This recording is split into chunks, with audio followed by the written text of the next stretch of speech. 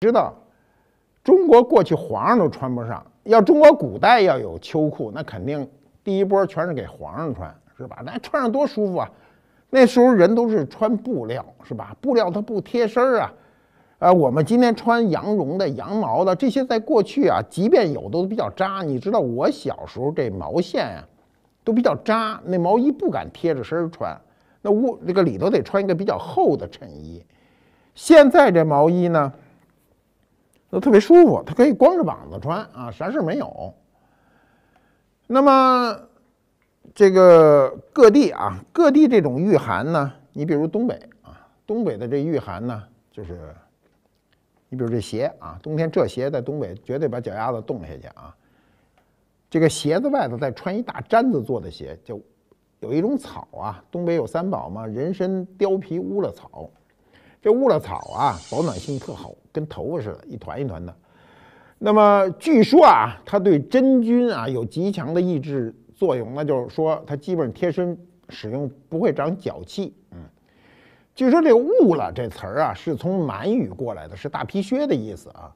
我们在东北的时候啊，就穿过这个乌拉草，就是穿那个普通的棉鞋，穿一大毡子鞋，那毡子鞋里塞满了乌乌拉草。多冷，站在外头，你这脚都没事儿。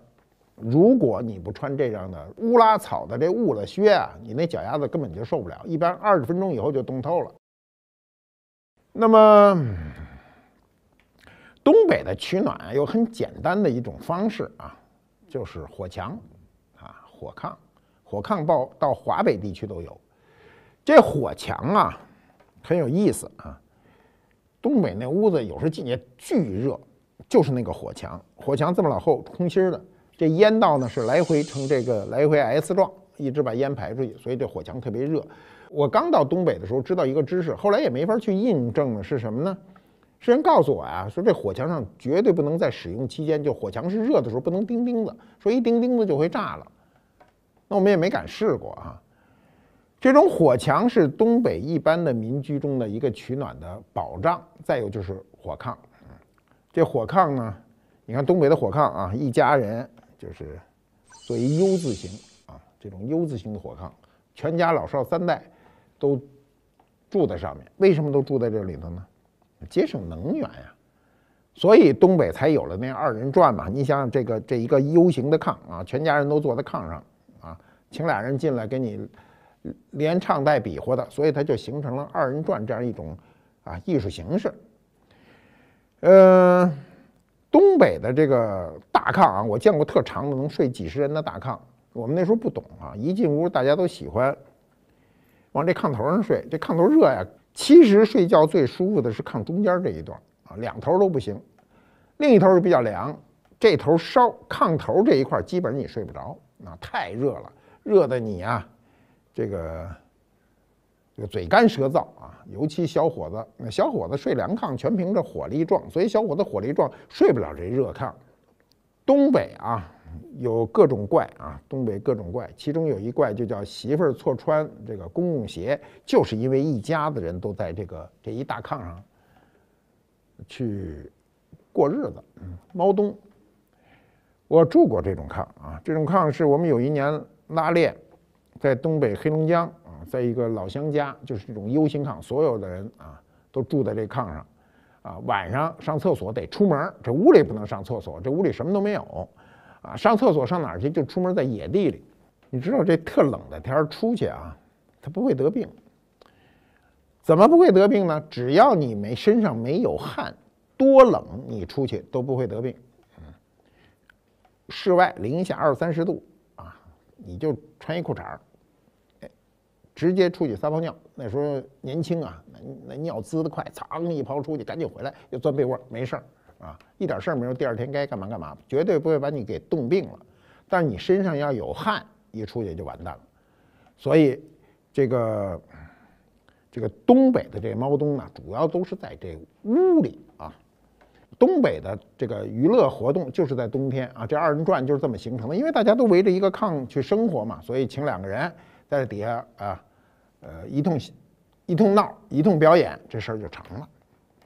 我第一次看见二人转呢，是一九六九年的大概二三月份，看这知青给我们演这革命二人转啊，跳一段舞叫《我师骄阳君师柳》啊。那女孩上海知青啊，在东北，上海知青那那女孩还是挺软的啊，在那跳舞，当时印象深刻。那时候我才我算算，我那时候是十四岁啊，十四岁开始有感觉了啊，看那软软的那女孩都有感觉了啊。这个后来呢，没等我这感觉消失，我就回北京了啊，我就回北京了。嗯，那北京，咱们先说说北京是怎么过冬。北京过去啊，秋天一来啊，享受几天秋高气爽以后啊，一到深秋，先买冬储大白菜啊，冬储大白菜一下来，各家各户就忙活一件事儿，叫装炉子，买烟囱啊，平房为主嘛，安风斗啊，风斗是防止你煤气中毒啊。这个靠煤炉取暖的日子，在北京至少有坚持了有一个世纪啊。一个世纪，我们小时候我看各家各户到冬天都要生炉子，这生炉子啊就有一个问题，它特别容易产生煤气。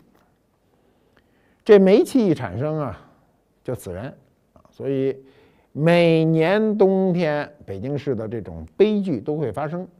我想一想啊，很少有一年说这一年北京市冬天没有人煤气中毒，那是不可能的。啊，每年这冬天啊，死亡到底多少人，我也不知道，我也不敢胡说啊。但是肯定很多，我认识的人里就有煤气中毒的，有的是没有死啊。我认识好几个朋友都煤气中毒过，中毒的时候先是头晕，有的人意识到了煤气中毒，然后就往门口去，但是一起来就摔了，就往门口爬，说爬到门口说呢，门底下有一缝，吹点氧气把自个儿给救活了。这个装风斗啊，现在都我估计年轻人都不明白这事儿。这装风斗就是在屋里呢装成一个有斜坡冲上去，能够把屋里的这个热气排出去的这么一个口。你说这屋里好容易烧暖和了，你就给排出去，这不是浪费能源吗？对，没办法，为了活命啊。所以这个北方的这屋子，只要你装了煤炉取暖，你就一定要装风斗，要不然就非常的危险。那其实你说北方人老说我这北方冬天太冷了，其实南方人比北方人更更苦啊。南方那个阴冷啊，那个湿冷，北方人根本就不行。你知道啊？你看咱们国家啊，这个地缘广阔啊，南方人啊，普遍啊，平均比北方人个儿小。你知道为什么个儿小吗？就是冬天给弄的。冬天这南方人全蜷缩着啊，自个儿就自个儿抱成一团在被窝里睡觉。你看北方的暖和，它伸展，所以它个儿就长得大。一抱着这睡觉受不了啊！我原来睡觉不会抱着啊，我有一回上南方呢就得抱着，不抱着一辈子都睡不热。这被窝里永远是凉的，对吧？我们今天说这凉法什么呀？我今儿弄一个电热毯不就行了吗？你知道这电热毯过去是没有的。我觉得到了冬季最难挨的这个地方是哪儿呢？我们国家大啊，我说得着说不着的地儿，你们多担待啊。湖北、湖南两湖地区，江西、这个安徽啊，就这些地儿啊。你像江苏、浙江，浙江还还好点儿啊。巨冷啊，那种阴冷啊，还有四川，还有四川啊，四川四川到了三月份都受不了。我在四川住过半个月，三月份啊，在那招待所里，把那招待所没人住，我把别人的屋里的被子、褥子全拿过来，搁在我这堆着啊，堆成那被窝山，自个儿钻进去，这一宿也是凉的，睡不热。那南方怎么取暖呢？烧炭，烧炭啊，有炭火盆啊，我还是觉得那烧炭很有意思啊，那东西好看啊，古人对这都有描述。那炭燃烧的时候，那种红色啊，那种暖暖的红，尤其在湿冷的冬天啊。就是让人内心有一种说不出来的感觉，但烧炭有一个坏处，就是它生产煤气啊，所以南方的屋子都四处撒气漏风，所以它就不种煤气。如果你把这屋子堵严了，你肯定种煤气啊。现在有很多人这个这个这个自杀还用烧炭的方法，就是他用这种煤气让你慢慢慢慢昏厥过去，无痛苦的死了。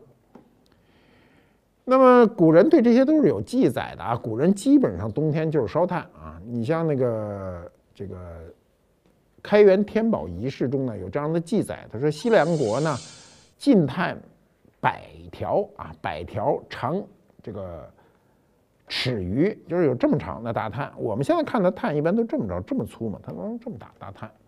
碳是青色啊，坚硬如铁啊。那么这种碳呢，它点燃了以后，它是无焰而有光。这说的太有意思了。嗯，我们看火都是有火焰的，所谓的焰就是那个飘忽不定的，那叫火焰。它无焰，只有光啊，那种暖光。他说每条可以烧十日。我我觉得这事儿忒悬了，我有点不太信一个条能烧十日。那么，我们最有名的唐诗就是《卖炭翁》了吧？写进中学课本。按照过去的解释呢，就是卖炭的老人这日子有多苦啊！最后靠卖卖炭换这点钱呢，这个却被宫廷里的人呢给抢抢买回去啊！这个半买半抢的回去。其实我觉得这都是一个。这个一个解释问题啊，我觉得这种解释不大成立。为什么？唐代社会也是个商品社会，哪个社会它也讲价值体现。如果我烧了炭啊，就被这么半抢半买的拿走，不够我的成本，第二年我就不来了，对不对？我最多第二年再来一年，第三年我就不来了。所以这种被宫廷买走的这种说法啊。强买走的说法呢，我觉得根本不成立啊。我们那句诗是怎么说的呢？“半匹红绡一丈绫，系向牛头充炭直。”这句话过去在我们的课本里解释都是说宫宫廷那个强买强卖的意思，其实不是，这就是它的价值。你想想，这个烧炭呢是一个低等级的劳动，我们劳动中分各种等级，对不对？烧炭是低等级的。这个丝织品呢，这是高等级的劳动。你用一车炭换这一匹绫，这是很公平的一件事儿。你总不能让他拿一车绫换呃一块炭吧？这不这不合适。所以我们去读古诗的时候，还要本着一种非常客观的态度去看它。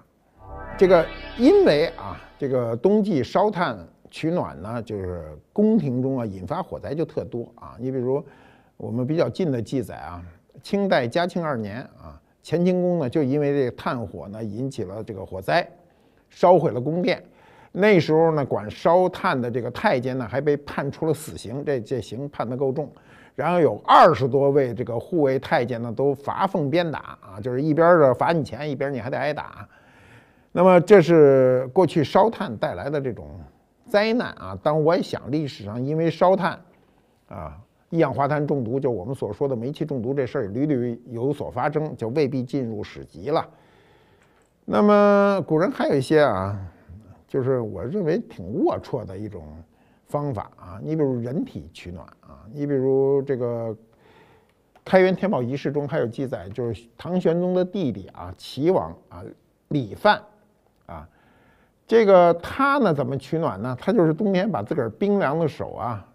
伸进这个侍妾的怀中取暖，这个美其名曰叫香肌暖手啊！我我我认为啊，这不是去取暖啊，这谁这么取暖，那管什么用啊？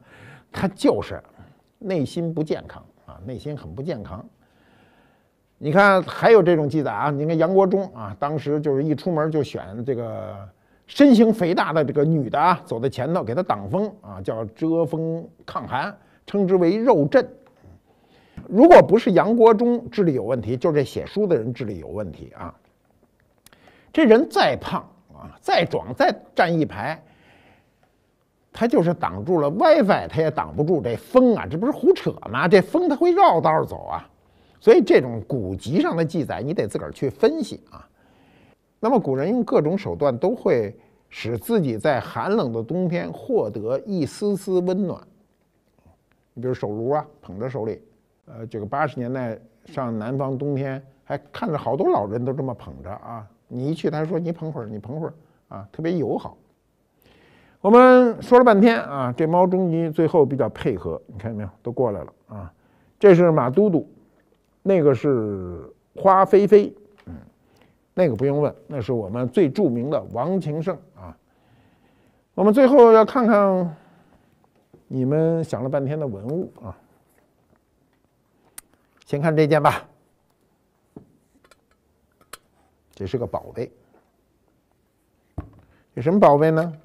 不用问，你们都很清楚了。这叫手炉，里头置于红炭，嗯，捧在手里非常暖和。这个手炉的分量很重，铜很厚，铜越厚，保暖性就越好。那么这手炉谁的呢？我知道谁的，你们不知道。我怎么知道是谁用过的呢？因为底下写着呢，底下写的好清楚啊，写着六个大字儿，刻出来的“大清雍正年制”。这件东西呢，雍正皇帝摸过。你们是不是觉得很神奇？雍正皇上有一天啊，拿着这炉啊，一不小心掉地上了，摔一坑，嗯，摔一坑就瘪了。又有一次发怒，葫芦地上了，又摔一坑，啊，这瘪的更厉害。这瘪的这块呢，我本来想把它修起来，后来我想了想，我老说，历史就是历史啊，它有什么痕迹，你就让它留着吧。你们是不是觉得我修不起来它？我告诉你，这地儿特容易修起来，铜的，红铜的，比较软啊。这个地方只要垫平它，从里头背面一点一点的，不要试图一次把它敲过去，一点一点的锤击，用很轻的力量，一点一点锤击呢，它慢慢就能复原，复原以后会非常漂亮。那么这个壶盖上的龙纹啊。我这没数，我就凭感觉就是九个，一二三四五六七八九个，嗯，灵芝龙纹，这也是雍正时期的典型纹饰。这件东西啊，我买的时候很便宜啊，有多便宜呢？就是很便宜啊。为什么说它很便宜呢？是因为呢，零九年的时候啊。在一场拍卖会的时候拍卖过一个，跟这一样，那品相还没这好呢啊，那拍的好贵呀！我要买这个炉的价钱呢是那个炉的两百分之一啊！哎呀，这事儿想了想，已经过去二十年了，两百分之一呢，对我来说呢也没什么意义啊，日子过得太快。你看看，这是皇家取暖的一个手炉。跟民间取暖的东西呢是有点差距的。我们再看看另外一件，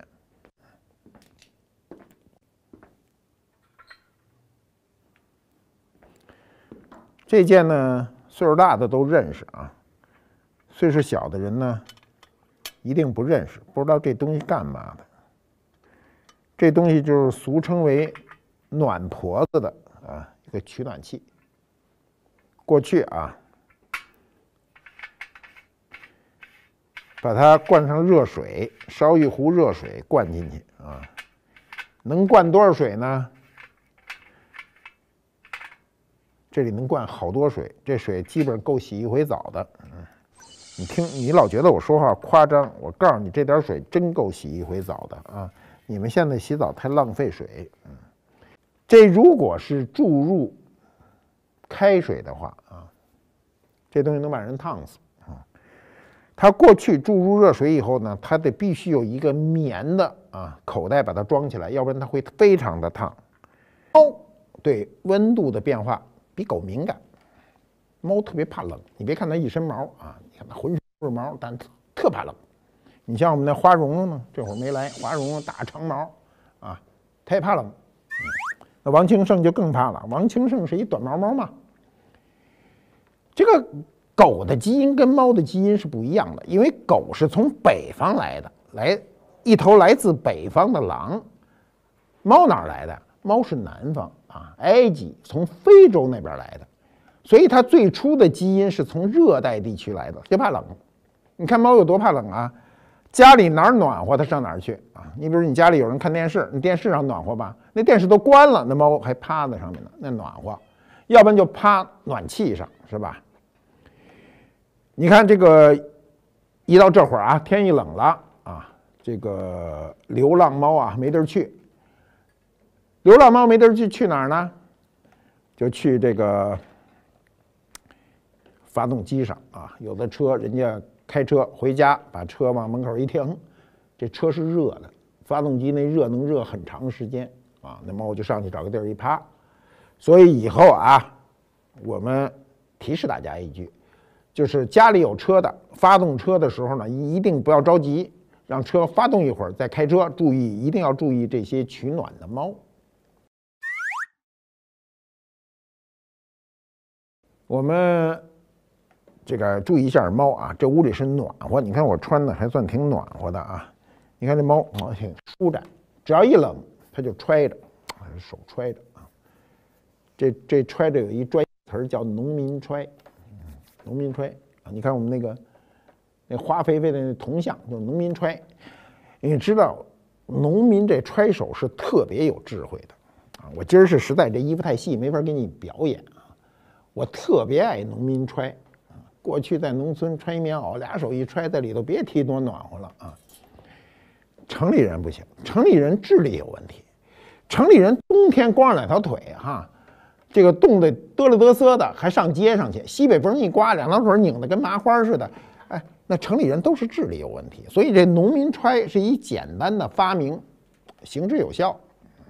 你看这猫啊，猫天一冷，来一农民揣就渡过去了。可咱人不行，人为什么不行啊？很简单啊，咱人没毛啊，这肯定不行啊。天一冷就得多穿呐，是吧？还得依靠这取暖设备。过去啊，这老人在屋里一到冬季穿一大棉袄、穿一棉裤是再正常不过的一个事儿。现在呢，这屋子暖和啊，人就穿少了。现在北京市规定啊，我其他各地的规定我不知道。北京市的规定十八度啊，是屋里的取暖标准。低于十八度，你就可以跟这个供暖打招呼了，说我这屋里不够温度了啊。这十八度。在过去已经是非常暖和了，十八度什么概念？你肯定棉裤穿不住了。过去冬季这屋里有个十度八度是很正常的。那么冬天它冷能冷的什么样啊？咱们先说最冷的地儿啊，咱们从最冷的地儿往暖和地儿说起。比如最冷的地儿啊，在内蒙古呼伦贝尔的根河市啊，一年一月份啊，一月是最冷的时候，平均气温呢是零下三十点九度。这个在零八年前啊，零九年的十二月三十一日的凌晨呢，这个地方最冷的地方啊，测过零下五十八度的极端气温，零下五十八度我都不敢想象是什么温度啊！这成为了中国啊到目前为止能测到最最冷的地方啊，这是冷极，这个记录到现在没有被打破啊。那么特别冷啊！这个东西会改变物性。我过去在东北就见过啊，一毛巾，你洗完了用完了，你只要往铁丝上一搭，啊，一分钟以后，这毛巾就是硬的啊，跟一硬纸板似的。如果你拿手一折它，这毛巾就脆的，邦当就折成两半，那毛巾就就断成两截儿啊。如果说这毛巾是柔软的，你想把它撕成两截儿没那么容易。可是这么冷的情况下，一折，啪，这毛巾就变成两截儿。军用水壶啊，我们那时候冬季，呃，这个行军训练啊，这个军用水壶是不能装满水的，装满水它就会冻死，只能装半壶水，还得往里兑酒，你不兑酒它就冻了。那么它这种物性的改变啊，比如说萝卜。你们没见过那萝卜能冻成什么样？零下三十度以上的时候啊，这萝卜就冻成了一个玻璃球。我们那时候小啊，就恶作剧啊，就捡着这室外冻成的萝卜往墙上扔，扔过去撞在墙上，就跟玻璃一样的，全部碎成渣子。这就是在极端低温下物性的一个改变。我们我在东北啊。这个住过两年，那两年正好是跟这个苏联啊，现在是俄国，当时中苏边境呢有珍宝岛战争啊，那时候中苏的关系非常紧张。我们当时呢，尽管岁数不大啊，还没成年呢，十五六岁，也天天跟成人一样啊，模拟行军、野战，在低温下睡觉啊，说在低温下一定要睡着。你知道这个低温能睡觉是一本事啊！我睡过的那个低温啊，最低的低温，就是毛巾往床底下一挂，这毛巾就是硬的，就冻了。睡觉的时候得戴一狗皮帽子，由于你呼出的这个热气啊，这狗皮帽子一圈全部都是白霜，照样能睡得很香。那被窝里很暖和。我们那时候练习行军的时候呢，这个教练就说啊，怎么能在低温下睡觉呢？第一，衣服一定要脱掉啊，不能穿着这个外衣，穿着外衣你永远睡不暖和，必须要脱掉。脱掉以后呢，两个人一对儿一对儿的睡啊，一对儿一对儿的睡。你们现在觉得这事儿太可怕了，怎么睡呢？头冲脚，就是两个男孩子啊，我的头冲着对方的脚，这样才能抱紧。两个人头冲头是没法睡觉的，因为有肩膀嘛，所以就会漏风，还会占地儿。所以两个人的铺盖呢，共用一个铺一个盖。衣服、大衣全部盖在上头，两个人头冲脚啊，抱着去睡觉。我可告诉你们，那时候没有盥洗条件啊，是在野外。这脚走了一天以后啊，谁的脚都不是脚了啊，都是一个毒气弹啊，那也能活下来。人在什么时候说什么事儿啊？老人老说啊，人只有享不了的福，没有受不了的罪。你知道这东北啊，最冷的时候刮那大烟炮。什么叫大烟炮啊？就是因为东北的雪是不化的，在这个大风下啊，这个刮的雪全带起来，三五米以外就看不见路。很多人啊，就因为大烟炮被冻死在室外。他为什么会冻死在室外呢？因为他认为从我这儿到那儿，我这个路熟的不能再熟了。我天天走这么近的距离，我怎么会找不到那儿呢？你就找不到。你只要敢出去，你就非常可能冻死在外面。我们当年就有这样的情况发生嘛，就冻死了。我们小时候知道的事儿，你比如当时在内蒙古有一个叫龙梅玉荣小姐妹，为了这个羊啊，羊被大大风啊。啊，冬天的这个白毛风给刮的回不来了，所以就为了跟着这羊走，最后把脚都冻冻伤啊，截肢啊，是吧？这个故事，这个后来还编过很多什么连环画啊，拍过电影啊等等啊，这个都是我们那个年月发生的事情啊。过去越冬啊，第一件事就是你穿暖和呗。我们啊一直在说这个。物候的变化啊，我们物候真的是包括人。我们同样的温度啊，你春天和冬天这温度感觉是不一样的。比如十八度，春天刚来的时候，哎呦，这天真够暖和的。但冬天十八度在屋里呢，他有人就觉得这屋不够暖和。我认为啊，最好的室内温度就是二十，最多二十二度，这是最舒服的。很多人屋里是二十五度、二十七度。我一到这个二十五度以上就燥热不安。过去我是不懂这事儿的，年轻跟岁数大完全感受不一样。你比如，我觉得我儿子就是，哎，他老觉得这屋里不够暖和。其实我觉得屋里已经很舒服了，他觉得不够暖和。年轻人都不愿意多穿，我宁肯在屋子里啊，冬季穿一个这个毛衣啊，我也不愿意就穿一背心裤衩那么热着，对吧？你比如我们有一个。这个穿衣标准啊，就是你穿不穿秋裤，表现你是不是小资的一个标配啊。很多小资情节的人都不愿意穿秋裤，比如啊，我们现在啊，就是说你穿不穿秋裤，就是你是否是小资的一个标准。你不穿秋裤，就是你很小资；你穿上秋裤，你就这个不小资了，嗯。这个秋裤啊，我是特愿意穿啊。你先别小看这秋裤啊，我当然我穿这秋裤稍微讲究点，它比较贴身儿啊。你现在你看得见我穿过秋裤吗？我给你看看，不能轻易让你们看，我这秋裤好贵的。这个